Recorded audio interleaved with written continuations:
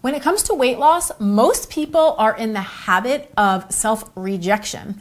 And what I want to encourage you to do is self reflection, right? So I don't care what your plan is, right? Whatever game plan you are focusing on for yourself, there will be times when you will fall off track. There will be times when you haven't quite figured out how to implement the things that you're wanting to do.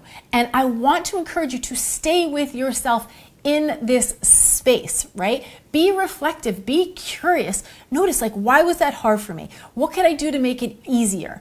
The habitual pattern for most dieters is to make a mistake and then go into self rejection and beating themselves up. But I want to remind you that making a mistake is never the problem. Quitting is the problem.